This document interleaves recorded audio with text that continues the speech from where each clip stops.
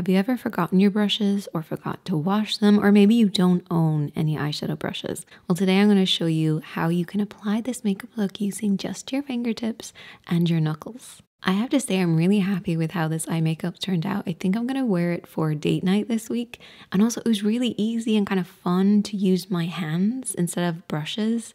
It was pretty quick as well. I think there's a reason why we do teach kids to finger paint. It allows you to feel for the bone structure, feel for the product, and get a better understanding. So, even if you do have brushes, I would still recommend giving this a try just to see how you feel about it, see if it kind of helps develop some of your other skills even when you are using brushes. And also, if you are looking for some brushes, I will link some of my favorite ones below along with a discount code because I have a running discount code with Blank Canvas Cosmetics. So just check out the link below.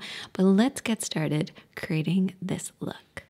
So as always, we're going to start by applying an eyeshadow primer all over the lid. However, we are going to be doing it slightly differently today because we need a slightly different finish. So an eyeshadow primer basically creates a barrier between your skin and the makeup that you are applying. That's really important, but we also want to make sure that we have a very even base and a smooth base because we don't want any drag. So the best thing to do is apply your primer, then go in with a damp sponge just to make sure it's a nice even layer, and then you want to set it in place with a little bit of translucent powder. Because we don't have any brushes to blend and fluffy it up, we're going to be using our fingertips, which means we may end up with a little bit of drag and it may hold on to certain areas that we then can't blend. So it's going to make it so much easier if we have a smooth base to work on. So just a translucent powder or a neutral eyeshadow, apply that over the top of the primer to set it in place, and then we can move on to our next step. Now, when we're applying the shadows, we're going to be focusing on the very tips of our fingers, the little kind of padded bit right on the tips of our fingers. But it also depends on which finger that we're going to be using because each finger has a slightly different pressure point and slightly different control. For instance, our index finger does give us a lot of control, but it can be a little bit pokey. It is good for pressing on like pressed shadows, any cream shadows. Now, our middle finger is good for blending, but it has a little bit too much pressure. But then our ring finger is kind of a mixture of both. We have some control, it's a softer pressure, and it's great for blending. And then obviously we have our pinky, which is great for those little small areas. Now, it's not just about which finger that you are using, it also depends on what your other fingers are doing. I know you probably think I'm overthinking this, but trust me. So, when my index and middle finger are down and I have my ring finger up, I'm gonna have a little bit more pressure. This just means I have a bit more control and less movement, which is great for smudging. However, if I open up my hand and use my ring finger, this just means I get a little bit softer pressure. The balance of the other fingers are taking the pressure off, which means I'm gonna get a softer blend. Before you apply any shadows, I actually want you to use your fingers in different ways to find out what works best for you. Now it also matters how we are picking up the shadow. So what I like to do is kind of cut the eyeshadows. This means I'm going to line my ring finger up with the very edge, meaning I get a straighter edge. I'll show you with a slightly darker shade so you can see, but I'm getting a straighter edge with this. Now, if we compare that to doing like a little swirling motion into the shadow, you can see the difference. This straighter edge is just going to give us a little bit more precision, whereas what's on the index finger can be great for kind of blending in a larger area.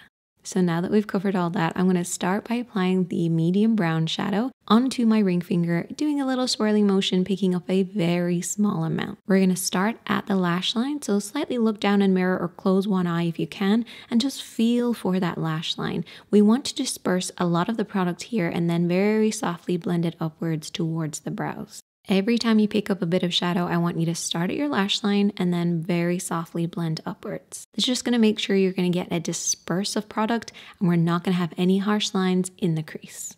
I also don't want you to pick up shadows each and every time. I want you to blend with whatever's on the lid to begin with. It is a little bit slower, but it does give a better finish. You can also use your hands in slightly different ways. So bringing up to the side will allow you to get right into the crease of the eye. So this is just going to give you a little bit more control and a little bit more precision. Again, you want to keep the pressure really nice and light. I'm keeping my hand pretty much open so that I have that soft pressure. And just imagine that you are ever so so slightly, just brushing over some velvet, and you're just feeling that soft velvety finish. Now, don't worry about the edges. We're not going to be able to keep this really sharp because we are using our fingertips and we can always clean that up with concealer later. Next, I'm going to take a fade shade. Again, I'm cutting the eyeshadow with the edge of my finger and just applying a very small amount of this right onto the brow bone, just underneath the brows, ever so slightly, getting onto that crease area, just pressing this and kind of very softly blending it. Now just to blend out any harsh lines, I'm now going to go in with a little bit pressure. So I'm going to be using my middle finger and just very lightly going over this area. Imagine it like your clean blending brush. Now, another way that you can get some precision is to apply something damp and then you can go in with your powder over the top. So, using a pencil like this is a great way to add some precision to make sure we're applying exactly where we want to. Now, what do we always do when we're applying liner? We don't go straight on at the face because that can create like a poking motion. We're going to bring our hand over to the side and go across horizontally.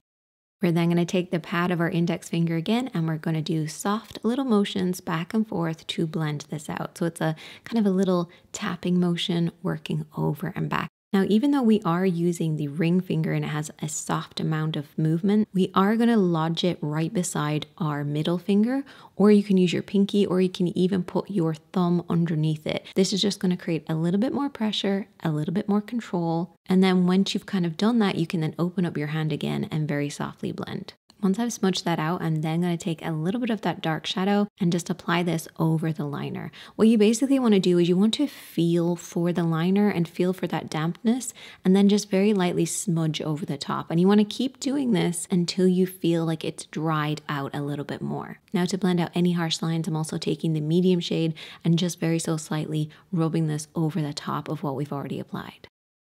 Next, we're going to go in with some shimmer, and shimmers are great to apply with your fingertips. You can just apply this on the upper part of the lid, so don't go right over the darker area. You want to just go slightly above that. That's why it's great to bring your hand over to the side so you can kind of look down at a mirror and see what you're doing.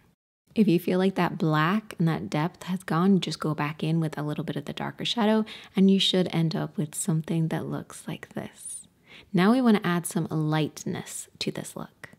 Now to do this, you can use a concealer pencil, an eyeliner pencil in a slightly lighter shade, and just apply this underneath the brows or the inner corner, wherever you want a little bit of brightness. If you don't have a pencil, you can always use a little bit of concealer on the cap of a pen and just use this, or maybe like the edge of your tweezers or whatever you have handy, just to add a little bit more precision, but also that dampness of the concealer or pencil will just allow us to have a little bit more control. I'm then going to use my index finger, so a little bit more pressure, just to blend this out. And you can also then apply like a slightly lighter shadow over the top of this just to add that brightness. Now for the inner corner, we're going to do exactly the same thing. So a little bit of concealer here if you want to, or I'm going to be using this pencil. And then you just want to go in, kind of smudge this out and apply your highlighter to this area.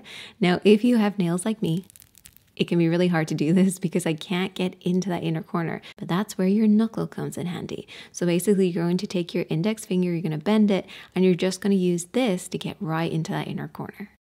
And then finally for underneath the eye, I'm going to be using my pinky.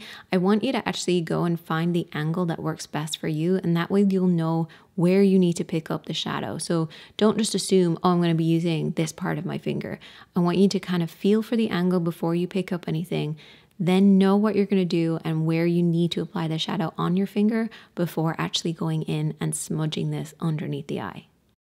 I then just finished off with my brows and my lashes, and I really hope that you enjoyed this one and you learned something from it. Obviously, there's so many different ways that you can use your hands to create different looks, but I really would recommend giving it a go. Even if you do have brushes, try this out because you never know. It might give you a better understanding on how to hold your brushes or how to feel for the different textures or the different movements of the lid.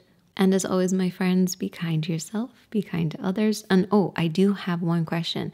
I'm thinking of doing a face makeup look using one brush or no brush. I'm really hoping that you're going to say that I can use at least one brush. So we're going to put it to the vote. I'm going to put up a, a voting system somewhere. but I am going to put it to you guys to see what you think. And I will see you guys in a video really soon.